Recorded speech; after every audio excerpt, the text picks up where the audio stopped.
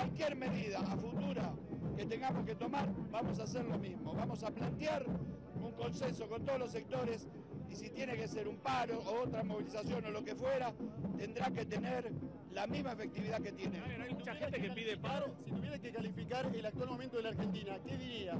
Es un momento muy crítico, con un padecimiento muy grande de la mayoría del pueblo argentino, y no hablo solamente de trabajadores, de los sectores más vulnerables, todos los sectores eh, están en una situación por demás crítica. Este gobierno logró algo, que a nadie le vaya bien, salvo a los solteros de la especulación y de la primarización de la economía. ¿Mucha gente que pide paro o, o no son tantos? ¿Por qué no, lo, no van adelante con esa medida? ¿Y quién le dijo a usted que no vamos a ir adelante? Digo, acá, digamos, no afirmen lo que no es.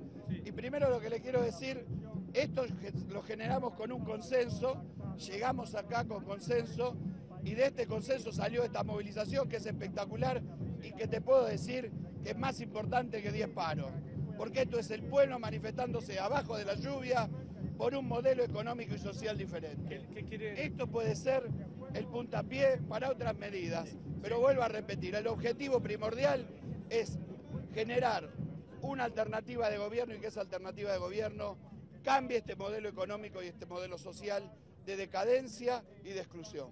¿A qué se refiere con alternativa de gobierno? Porque se puede leer de otra forma.